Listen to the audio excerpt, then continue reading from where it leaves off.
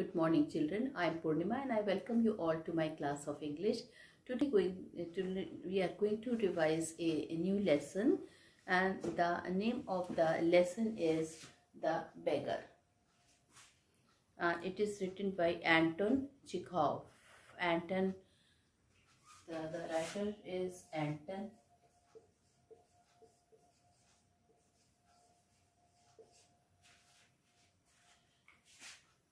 he, Anton Chekhov is a Russian writer and I will be telling you something about him student. So Anton Chekhov was born in Russia in the year 1879.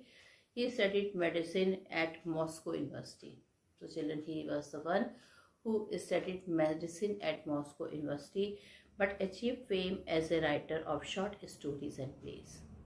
But he had achieved fame as a writer of short stories and plays. He started writing a story even when he was a student. So he started writing a story when he was a student. He died in 1904 just at the age of 44. So he died in the year 1904 just at the age of 44. Today he is regarded as one of the greatest and renowned greatest and renowned short story writers in the world. He was born into a family of modest means but received a good education. Uh, he supported his family by granting out some short story for newspaper publications. After uh, he began writing more serious and artistic story, he gained the attention of public and the critics as well. The first edition of the, his complete work was published between 1903 and 1930. So children, this story is written by a great writer Anton Chekhov and basically he belongs from Russia. Now what he wanted to convey through this story, what he wanted to give you people as a theme of the story, that I will be discussing it now now.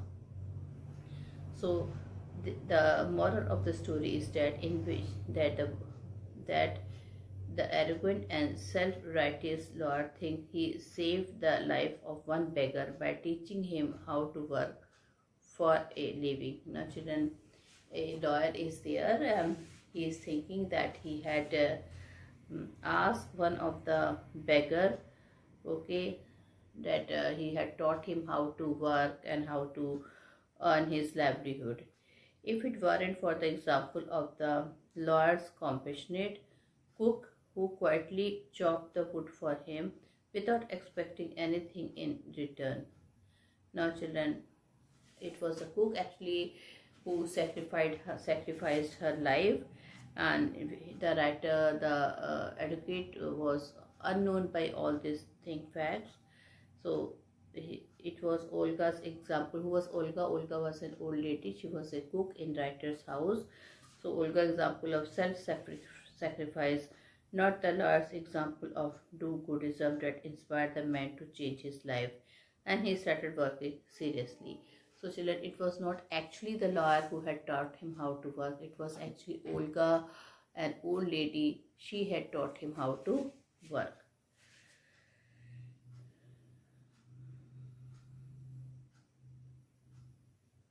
And he started working seriously. Sarjai, the lawyer, helped Lashkov, the beggar, only after he agrees to chop wood for the lawyer.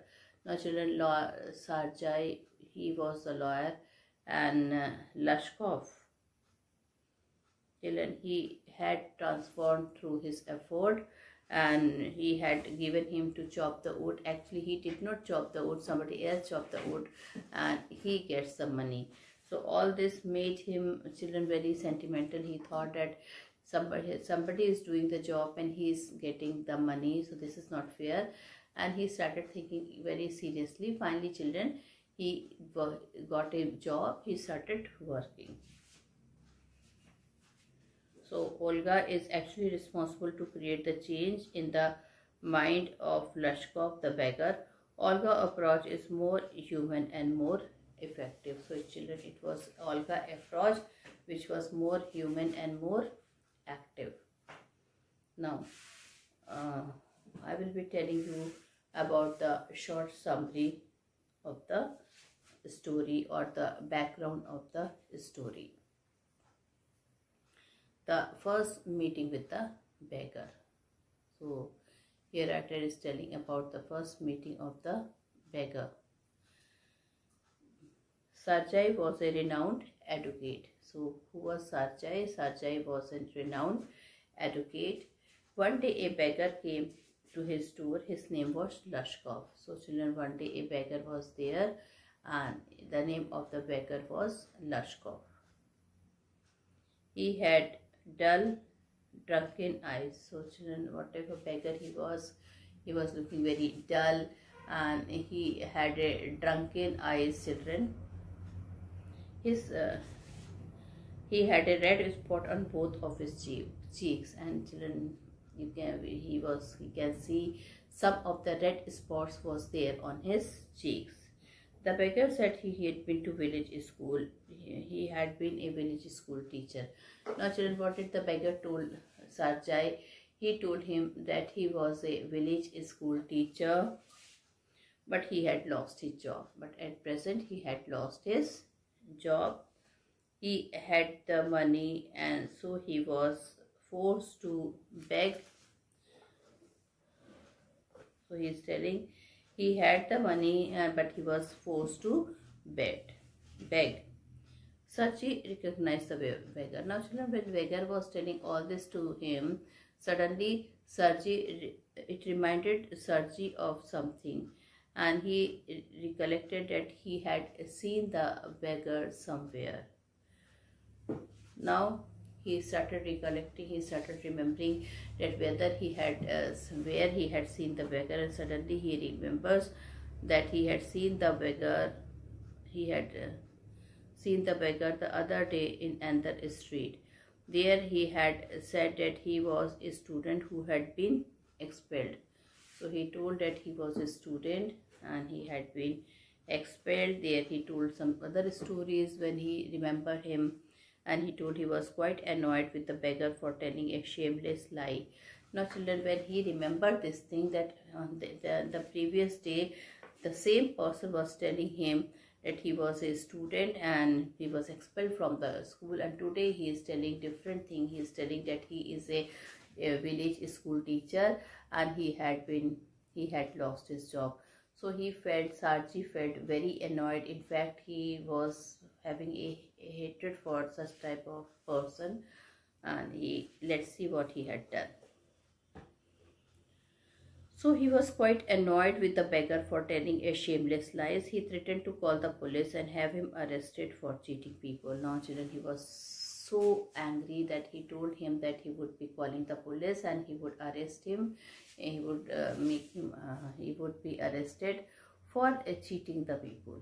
He told that you are simply cheating the people and um, you wanted to gain sympathy by telling that once you were a student you were expelled from the school and today you are telling that you are a village uh, teacher and you have lost your job so he is telling that uh, we should you should not do that and for that i will be calling the police for a while the beggar stuck to what he had said and for a few minutes the beggar stuck he was stuck. He told that whatever he had said was right. But then children, he started, he, he um, was feeling guilty and he accepted that he told the lie.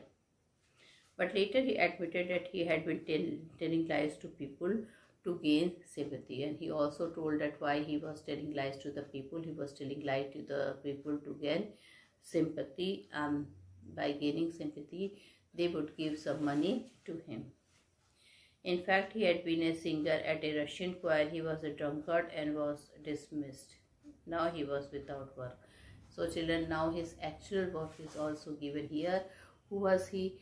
He was a person who used to drink a lot and he was uh, working in a Russian choir. And now he was children, since he used to drink so much, he was dismissed from his job and now he was without work. So what work he is doing now?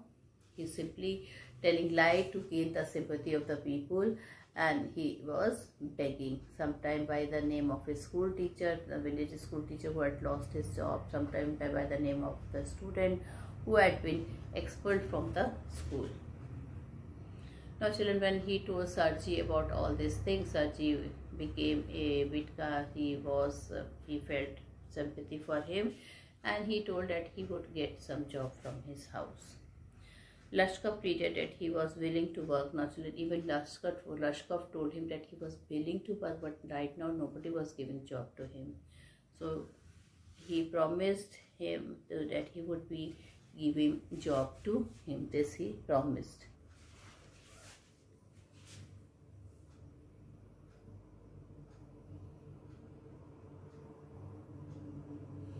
So now children, he gives him some work and he asked him that if he would chop a word for him. Sarji called his cook. He told that you uh, he called his cook and cook and he told ki Olga, this is a person who can help us. And he told uh, Olga to take him to the woodshed and let him chop some wood. He would be chopping wood for us. Lashkov followed Olga unwillingly. Now Lashkov, the beggar, so children, Lashkov, he followed Olga unwillingly. Actually, he did not want to work, but since he told him that he nobody is giving a job and he had to beg, that was the reason now Dylan he was working. After an hour, Olga came in. She told Sarjay that Lashkov had chopped the wood. Sarjay was pleased. He gave her half a ruble for Lashkov. Now children, after half an hour, uh, hour Sarja Olga came and she told and she told that he had chopped all the wood which was given to him. Okay. Saji was pleased. He gave her half a ruble for Lashkov. Now he he gave her half a ruble to Lashkov for Lashkov. When Sarji moved into another house, uh, another house, he asked Lashkov to help with the packing and hauling the furniture. He hardly did anything, but Sarji believed that he had done his job well. But Sarji believed that he had done his job well. He gave Lashkov again a ruble. Lashkov knew how to read and write. Sarjai gave him a letter and asked Lashkov to go to one of his friend's house who would give him some copying work to do. Lashkov went away and never came again. So children, this was the reason that children he might have got job or he did not, he must have left them because he did not like to do the job, whatever was the reason. They did not get any news of Lashkov. So children, now we don't know what happened to him, where he'd gone uh, and everybody was so busy that even they have forgotten about Lashkov. Now after two years, two years children passed. One evening Sarjay saw Lashkov at the ticket window of a theatre. So one day Sarjay he had gone to see the movie and he had seen that one uh, that Lashkov was standing near the ticket window. He was very well dressed. He was buying a ticket. He told Sarjay that he was a notary and earns 35 rupees a month. Now he told about his job when he had met Sarjai. He told that he had become a notary. He got the job of a notary and he can earn 35 rupees a month. Sarjai was delighted because he had been able to push a depraved beggar on the right path. Now children, Sarjai was thinking that this job was due to he was thinking that this job was given to him due to his effort. Lashkov thanked him for, for his kindness because he had pulled him out of a sinking pit. Now children, at the same time Lashkov uh, children thanked him because he knew that he was in a very poor condition and it was due to his effort he had been he had been reached to such a position. But he said the true credit goes for changing him went to Olga. Now he was asking about Olga and he told that The true credit which he had uh, changed into a good person goes to Olga. Naturally, this surprised Sarjay. Now, Sarjay was very much surprised when he had heard it. He told how Lashkov exclaimed that he had never chopped a single piece of wood. Olga chopping the wood for him and gets chopping the wood for him and gave him the money. She wept for him. She suffered for him. He began to change after watching his sacrifices. Now children, what Olga was actually treated him like himself. When he was sad, she used to cry. In fact, she came to know that he is not able to chop the wood. So it was Olga actually who chopped the wood for him. So children, he if there was a bond between that beggar and uh, Olga, he she always used to tell you must learn how to work. This is not the way that you are working, and he began to change after watching her sacrifice and love. He uh, stopped drinking. He could ne never forget her. Now, children, and then he had stopped drinking also as Olga told that you must not drink because your body is becoming weak. You are not able to work. So, children, he stopped drinking for Olga only. So, in this way, he told the uh, writer, he told Sarjay, he told the narrator that it was not actually he had changed his life. It was due to Olga's effort he had changed his life. And it was Olga who had actually saved him. She was the inspiration behind his career. So he told that she was the inspiration behind his career. So children, now uh, this is the background of the story and this is finished. Now I will be reading the story and do the explanation part. Now children, the beggar, what happened to, beggar, to the beggar Lashkov to change his ways? Let's read and find it out. So children, we are reading the book Moment and we are at page number 62. Now I'm going to read. Kind sir, have pity, turn your attention to a poor hungry man. For three days I have nothing to eat. I hope we can all guess that who had said this word. Okay, kind sir, have pity. Now he is telling, we all know this is a beggar who is telling to Sarjay, the advocate. For the first time when he met him on the road, what did he say? He said, kind sir, have pity. Turn your attention to a poor hungry man. For three days I have had nothing to eat. I haven't five kopecks for a lodging. Children kopecks are the Russian uh, currency and lodging children on uh, um, putting up. He wanted to live somewhere else in a proper manner. So he is telling that I am hungry. I haven't eaten for three days and at the same time I haven't five kopecks. Kopecks is a Russian currency Right now, I don't even have a 5 kopecks for a lodging. I swear it before God, for 8 years I was a village school teacher and then I lost my place through intrigues. Uh, okay, so he is telling earlier I was a beggar. Mm, I was a school teacher and this he told I can swear also uh, and he was a school um, village school teacher and there he had lost his job through intrigues. I fell a victim to calumny. So children, there are many new words which I think you should write it. Okay. So our first word is lodging. What is the meaning of lodging? Lodging means rented house.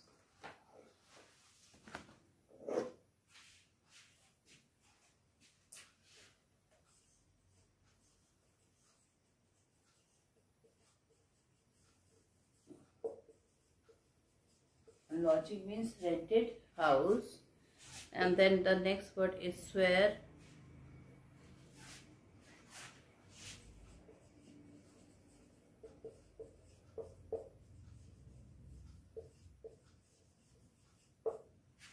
to take oath. Swear means to take oath and uh,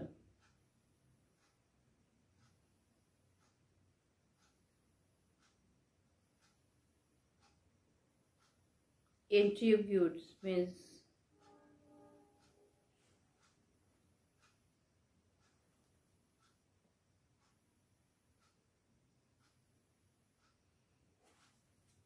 intrigued it means connive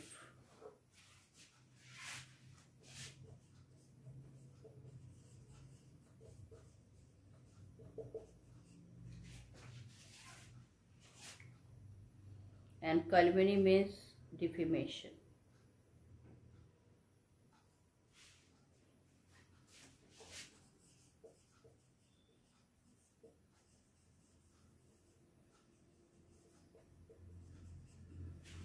okay so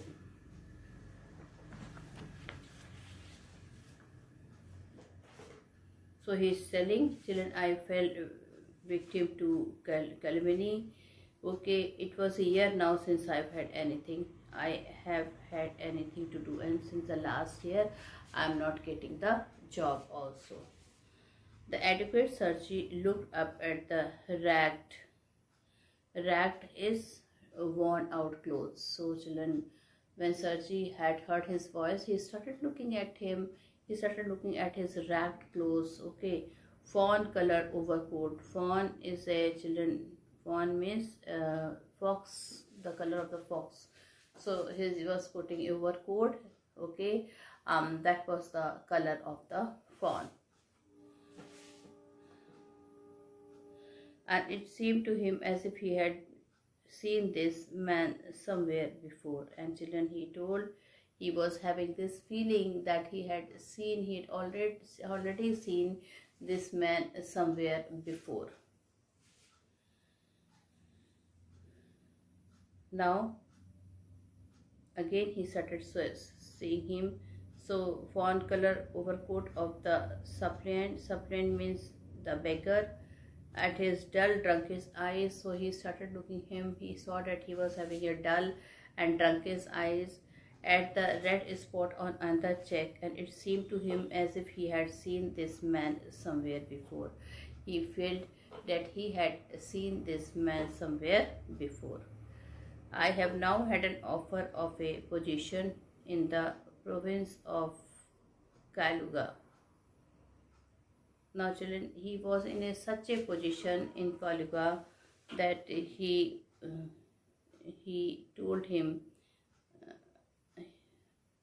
I have now had an offer of a position in the province of Kaluga. The mendic mendicant went out, but I haven't the money to get there. Now children, that beggar told him that somebody has offered him a job also, but he could not go because he is not having enough money to go there. So help me kindly, I'm ashamed to ask, but I am obliged to by circumstances. Now children, he is begging, he is telling, I did not want to beg, I do not want to beg, I'm really feeling shame. But it is the circumstances uh, which is persuading me to do all this thing. I am obliged to the circumstances. Uh, Sarji eyes fell on the man's overshoes. Now children, Sarji, uh, he was going on telling all about him to Sarji and Sarji somewhere was lost. He was thinking only this thing that where he had seen this man. Suddenly, children, he started looking at him and his eyes fell on his shoes. He started looking his uh, shoes.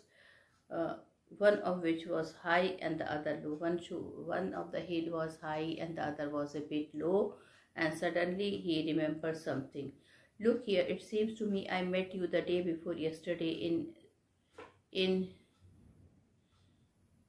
Sadova street. Now children, he told him that uh, look here, I have already made uh, meet you somewhere in Sadova street. And he said but you had told me that you were a student who had been expelled. Expelled means uh, to um, throw him out you had been expelled and not a village school teacher. Do you remember? He told, I still remember that what you had told to other. You told to other that you had been expelled from the school. You have been kicked out from the school. And you told, yesterday you told that you were uh, not the school teacher, but you were the student. Did you remember? No, that can't be so, mumbled the children, when he told this thing to um, Lashkov, he told this can't be so taken aback, but he was a bit amazed. I am a village school teacher and if you like I can show you my papers. He told me, no sir, I am a village school teacher and if you want I can show you the papers also.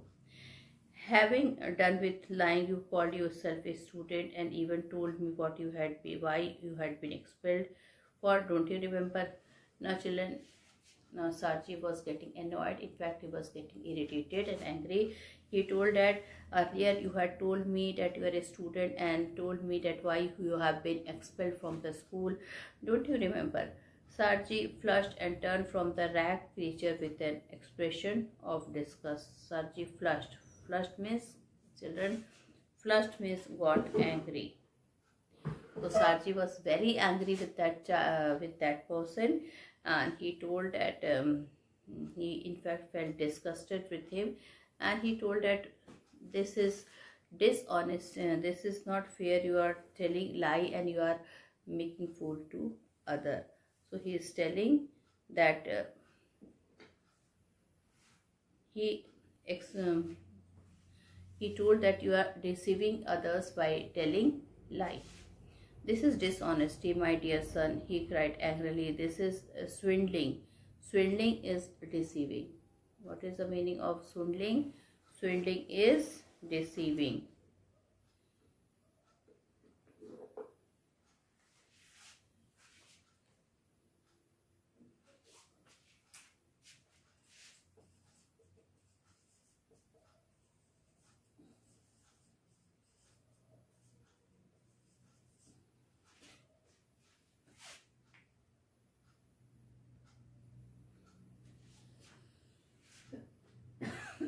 So he is telling that you are deceiving others simply, you are making fools to other. And this is a dishonesty, he cried angrily, this is swindling. I shall send the police for you, damn you. Okay, so he told that I would be calling police very soon because in this way you are making fool to other, you are cheating, you are swindling. Swindling means dishonesty, deceiving. Mm I'm neither a student nor a school teacher. All that was fiction. And formerly, I sang in a Russian choir and was sent away for drunkenness. So he told that uh, he started telling all that was a fiction. What is the meaning of fiction? Imagination. I sang in a Russian choir. He told that I was a singer in a Russian choir and was sent away without for drunkenness. Drunkenness means children used to drink a lot of wine. Okay, he used to take a lot of alcohol. So he told that I was uh, sent away because I used to drink a lot. But what else can I do? I can't get along without lying. No one will give me anything when I tell the truth. Who can I do? So he told, I cannot go. I cannot get along without lying nobody will give me anything when I tell the truth. What can I do? So he's telling I don't know what to do. Nobody will give me anything when I tell the truth. What can I do? What can you do? You ask what you can do. Now he is very angry. He's telling you are asking me what to do, though you are doing a lot of things. So he's telling, he's telling what you cannot do, cried Sarji. Come close to him. Work, that's what you can do you must work. Now Sarji told, yes, if you want to do something, then that is the work. You must try to work hard now for yourself and that uh, that will only stop you from begging and all this thing. Work, yes, I knew that myself, but where can I find work? Now children, yes, he told work also I was thinking, but I don't have work to do, right? How, how uh, I don't know where I'm going to find the work and uh, who will give me the work. How would you like to chop wood for me? Now suddenly children, The narrator asked, Do you like to chop wood for me? The narrator asked him, He told, him, Do you like to chop wood for me? And where we should, uh, and uh, he was still not expecting this thing, but he was uh, not knowing what to answer. And how would you like to chop wood for me? When the writer asked, I would not refuse to do that, but in these days, even skilled woodcutters find themselves sitting without bread. Will you come and chop wood for me? Yes, sir, I will. And finally, children, he told, Yes, I will chop a wood for you. And by telling this, he came with the writer. Okay, in fact, uh, he was uh, not actually knowing how to chop the wood, but he know that if he will tell anything, the writer will get annoyed and he will stop he will not let him work. He will and again he may uh, lend him to the police. So children with this i end my story here. Um, thank you and have a nice day ahead